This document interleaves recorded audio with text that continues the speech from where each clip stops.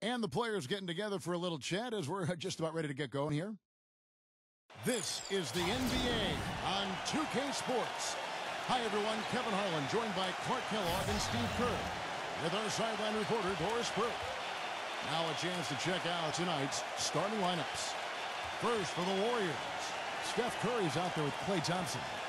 And in the middle, the long-bodied JaVale McGee. Absolutely elastic. That's Durant, and it's Green in at the four slot. And looking at the Rockets, Patrick Beverley out there with Harden. And out of Brazil, one of the premier finishers in the game, a mobile and agile 6'11 man at the center position, it's Nene. Then it's Trevor Ariza, and it's Anderson in at the power forward. The Warriors were able to get back to the postseason for the first time since the We Believe season in 07 when they knocked off the Dallas Mavericks as an eight seed. They didn't finish above 500 on the road, but still were much better than previous years, which allowed them to get to the playoffs. Outside Curry. Makes the lead pass. The shot's good from McGee. You know, it's always nice to get the easy look inside for your first points of the game. I agree. It settles a team down offensively, and you establish success in the post. That forces the defense to make some adjustments. Well, back to that Warrior Road record that Clark was talking about, 19 and 22, as you said. But I remember an early road trip that, uh, you know, had them go 6 and 1. Really helped them start to believe in themselves. Steve was a team last season. Yeah, that included that uh, buzzer-beating win against Miami on Draymond Green's shot. I mean, I think that's when this group really realized that they could make some noise and possibly be a playoff team.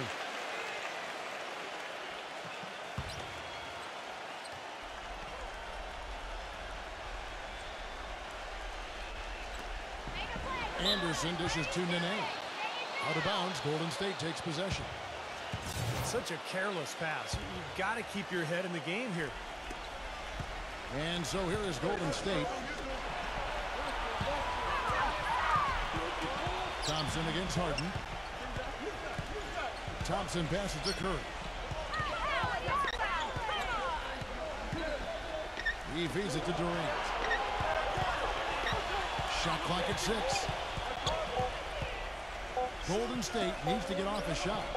Here's McGee. And there's the shot clock violation. Couldn't get the shot off in time.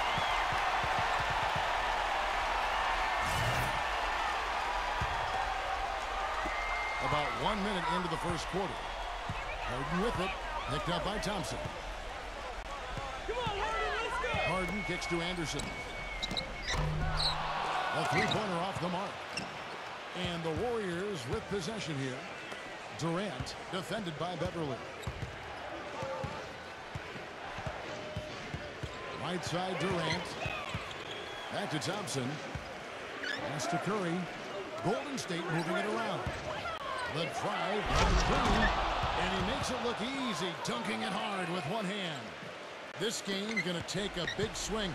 Clark, if the D continues to clear out like that and give up easy dunks. Yeah, that's the kind of defense we expect to see Come in a on. blowout, Kevin, or even an exhibition game, not a close game like this. Look how frustrated Steve is over Well, I just, man. Uh, you know what, Oh, he's Kevin? disgusted. Come on, Kev. I, I just like that he didn't choose to just lay it up there. I mean, he threw it down with force. So it's the Rockets now. Following the score by Golden State. And the shot clock expires. 24-second violation. Now McGee. Outside, Green. Thompson outside. Lets the three fly. A three at the horn. They end the quarter on a high note. What a big shot. I'll say that'll put a little bounce in their step coming back out of this break. And that concludes the first quarter of play. Warriors lead by seven. We'll take a quick break, then get you back to the action.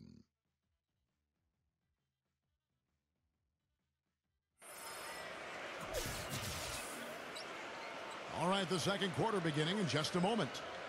Houston might have made the playoffs in the West last season, guys, but it wasn't because they were beating up on their peers. They were 24 and 28 against the rest of the West. That's why they got the eighth seed.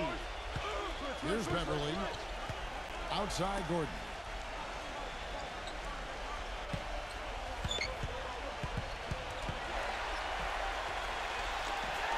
Pocket six. Here's to Beverley. Outside Gordon. There's the three. The shot, no good. And Golden State will come the other way. You remember the Rockets last year when they were playing a lot of teams in the West near the end of the regular season. That was when they slipped, you know, Steve, out of the sixth seed range down to number eight.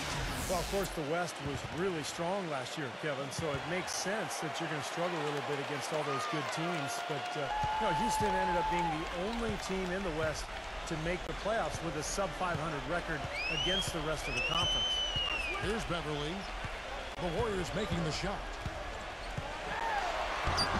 Knocks it down from seven feet.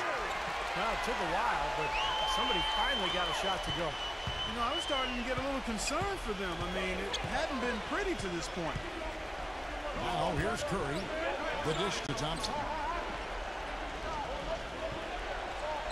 Thompson off the pick from McGee. Thompson passes to McGee. The feather touch on the finger roll. Beautiful.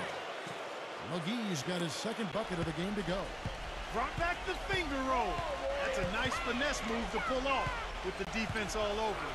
There's the screen. Gordon for three. That doesn't go either for Gordon. Boy, that's a surprising miss right there. He usually feasts on those wide open opportunities. McGee dishes to Durant. Goes back up. And foul called as he misses. He'll go to the line and shoot two. That one's on Eric Gordon. The Warriors shooting their first free throws. First trip to the line in this one. That's good from Durant. Lou Williams is checked in for Eric Gordon.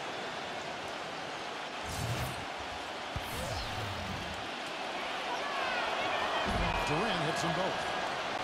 Far as the league's big men go, he's one of the very best at the foul line. Here is Williams. Clark, they've been looking out of sync offensively. You know what? A basket here would do a lot for their confidence. And there's the feed to Beverley. Back to Williams. The three. That is good. Williams has got himself going with the triple, his first basket of the game. And here is Green. Thompson for the triple. And no good trying to get that one. And we finished one half of basketball. Warriors ahead. They lead by eight. And we'll see you back here after the break for third quarter basketball. Now, presented by Sprint. And it's been a great game out in Houston. Thanks for joining us. The Golden State Warriors are ahead against Houston. A nice job of sharing the rock, making plays for one another offensively. JaVale McGee has been the X factor. It's been anything but a high scoring game, but you gotta love the contributions he's made to keep his team out front. A tough matchup, but the Rockets are staying afloat. The outside shot just not there for them today, but that certainly hasn't stopped them from trying. We might see some adjustments after the break. And that'll wrap things up for me here in the studio. Second half is just around the corner. Thanks so much for stopping by. The Sprint Halftime Report, presented by Sprint.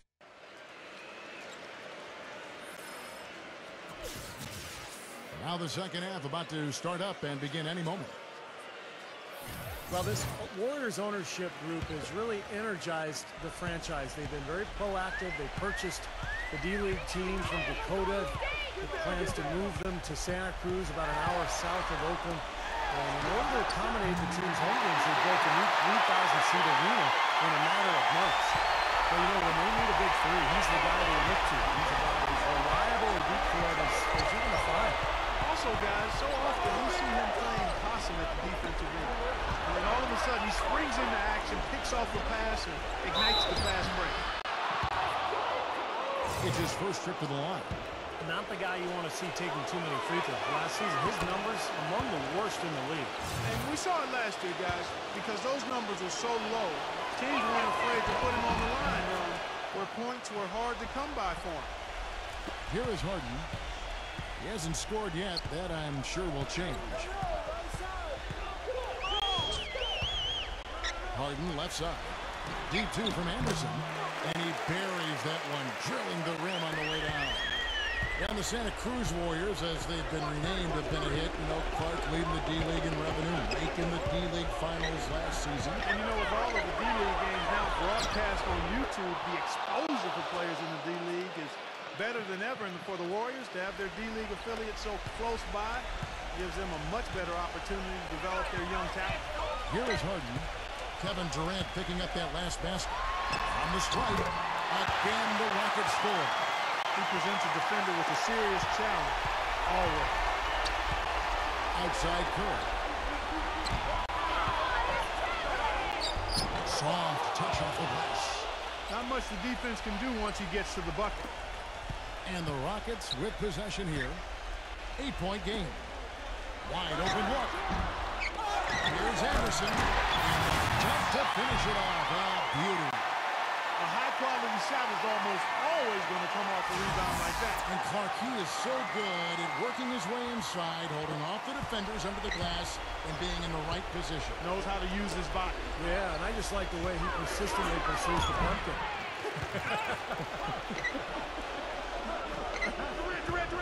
now here's Curry. After the miss from McGee, he kicks to Durant. Bangs home the trifecta. Durant's got seven points. Rockets have gotten four of their first five second-half shots to fall. 80% since the break. Poked away. Stolen by Thompson. He dishes it to Curry. Back to Thompson. Good, and Curry gets the assist. Curry's got four assists in the game. You know, the instant that steal was made, they were off and running the other way. Ball pressure, then run out see. That's perfection to me. Now you threaten the defense inside and then find the open man on the outside. Good offense. And that's going to do it for the third quarter. Warriors lead by eight. And after a quick break, we're going to come right back with the start of the fourth quarter.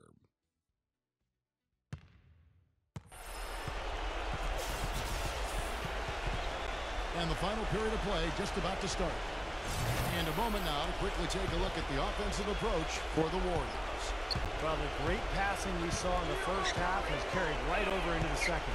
Well, you've also got to love how aggressively they've taken that ball to the basket and scored off dribble penetration. Now here's Durant.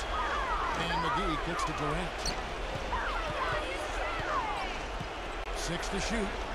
Curry passes to McGee. And he was fouled in the act of shooting. Chance here now for a three-point play. It seems like they're finding an open lane to the hoop every time down. It's five buckets in a row for them in the paint. Yeah, on the flip side, Steve, the defenders have to show more fight on the interior. Houston making a switch here. Beverley's checked in. Kevin, he has a, a great knack for blocking shots from the weak side. He can always sense the right moment to leave his man, come over and help, and chase down the shooter. And something else that comes to mind with him is how many guys he's given the poster treatment to. I mean, flying by to power one down while defender stands there looking for mercy. Now here's Curry after the miss from Beverley. Curry kicks to Durant.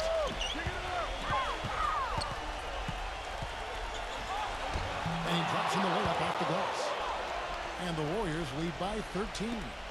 They've been getting way too many high percentage looks close to the basket. And tell you what, when they're getting them, they're converting. You know, the play in the paint, an aspect of this game that has gone entirely their way. Now here's Gordon. Pass to Beverley. And a foul on the shot. He'll go to the strike for two. You know, when you get an influx of talent through the draft like the Rockets did prior to last season, the initial reaction is excitement, but then you think about, man, how are we going to get these guys ready to play NBA basketball? And the Rockets did a nice job by taking it easy and bringing them along slowly. That one falls, so he hits both of them. And for the Rockets, you look at how that strategy worked out for them, and it was exactly what they needed. Got off to a quick start last year. You know, Steve, toward the end, their rookies were fresh and able to contribute when it mattered most. You know, Kevin, it's hard for fans to see a player get drafted and not immediately see the floor, but a lot of times that's the best route. You know, you, you give a, a player time to adjust, you make him earn it, and by the end of the season, he can be a, a very effective player. I think uh, plenty of the Rockets players proved that uh, last season. And I think Doris Burke has something for us right now. Doris? Hi, guys. I had a chance to find out what Mike D'Antoni was discussing with his players. He said, listen, we've come this far. Now we've got to lay it on the line to get a win. I know we can do it. So show them what you got, and let's make it happen. Guys, we'll see if they can do it. Thanks, Doris. And the shot counts. He's fouled, and it's a chance for a three-point play. That'll put Eric Gordon on the line. That one on Thompson.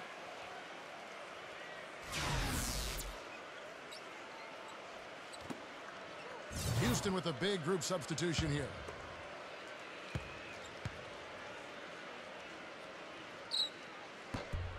Gordon no good on the free throw. The Warriors have gotten all three of their shots to drop here in the fourth quarter. They came out of the break on a roll. And a terrific run to really put this ball game away. And now let's see how many more points they can throw up there before the horn sounds. Launches it. Number 15. McGee with the block. Now eight seconds separating the two clocks. Puts it up from 12. Hit his leg. And the official saying it was kicked. Houston making a switch here.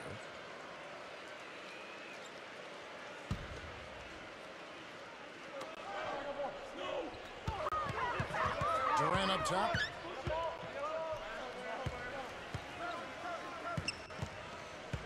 And the pass to Curry. Feeds to Thompson. This is to Durant.